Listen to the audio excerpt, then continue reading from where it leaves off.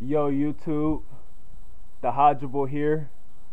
I'm on a journey to learn every language, and our topic for today is the best way to learn languages. I have five years of experience learning different languages, and I'd say the answer is simple do what you like in the language that you want to learn. Do what you like because that's what's actually going to keep you engaged, actually help you to build some passion so that you can continue progressing in your languages, so that you continue taking it step by step. But you got to have the passion and you got to like what you're doing so that you can actually be into it, be engaged. Do what you enjoy in the language. And for everyone, that's different because we all have different learning styles. We all have different personal styles. Some people may want to listen to people speak. Some people may want to listen to music. You know, some I might want to read the subtitles of a movie. You might want to read a text message from your foreign friend or from their social media post. Uh,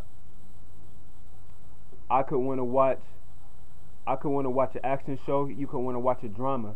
But those are different things that are going to engage different people, you know?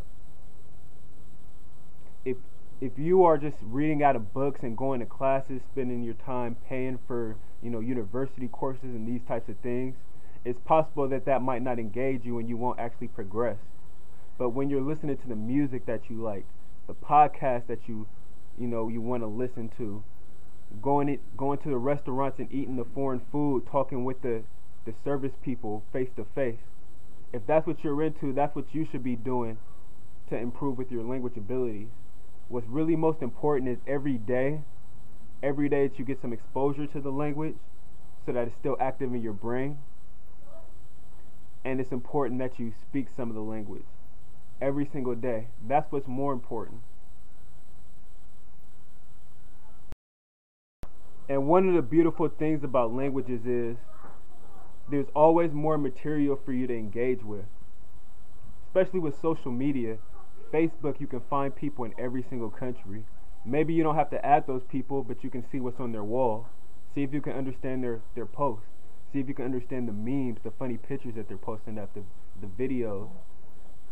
Movies, all kinds of different movies for every single different language and culture it gives you a different window into into these different lifestyles for the language that you're learning. If you're into that, watch a movie.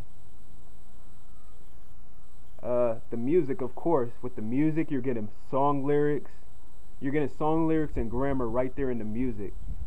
If you just take the time, get the vocabulary from the lyrics, also look at how they're saying things, you can learn quickly, quickly, quickly listening to Korean drama music things like that. Listening to Spanish music, Chinese music. Um, what else? Talking with people. If you are a people person and you enjoy to talk with people face to face, you c- there's there's buildings that are full of native speakers of whatever language you speak. Find out where those people are. You could walk into the room and have 10 people to talk with. If you're more of a private person, more of an introvert, but you still need talking practice, one thing that you can do is uh, get on Italki which is social media for language learners. You could you could use Skype, talk to somebody over webcam, you know, Facebook Messenger to get that communication with, with someone if that's what you need and that's what you like. But for everyone, everyone is going to have their own personal style when it comes to language learning. And we really do have to remember that. Everybody has their own styles. Everybody has their own individual ways that they actually receive information myself, I can be an independent learner. I can learn from books. I can learn from listening to audio resources. Just taking information in by myself without much communication. But then I do know that communication is one of the main keys to actually remembering and re- retaining things. It simply is the truth. Talking with the native speaker face to face is one of the best, most efficient ways to keep that vocabulary because you're going to have so many memorable, memorable experiences.